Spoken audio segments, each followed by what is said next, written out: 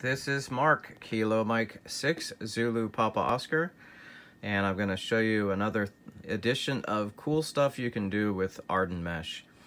Um, what I have here is an Android tablet, and I have a connector to a micro router, and I'll show you here that it's online. This is the um, AREDN Mesh access point for this device it's connected, tunneled into another node that I have here in the same room. But, so that's cool. And that other router provides internet access to this tablet. This tablet doesn't have any cellular service and the Wi-Fi is turned off. And you can see up in the corner here, when that little um, Ethernet symbol right there shows up, you know that you're connected with an Ethernet. Um, and this micro router is the Ethernet. So, uh, but another thing I put on this device though is um, a WinLink client called WOAD. And um, just a couple minutes ago, I sent myself a message and uh, let's see if it works. So what I'm going to do is go into the Sessions tab and start a session. And let's see if anything comes through. Let's go start and running. And did anything come in? Inbox.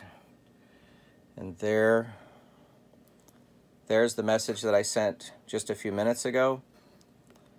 Um, I sent it as an email to uh, my Kilo Mike 6 Zulu Papa Oscar at winlink.org address. So I can see that um, this device works as a WinLink client. Um, I suppose almost any Android device would work.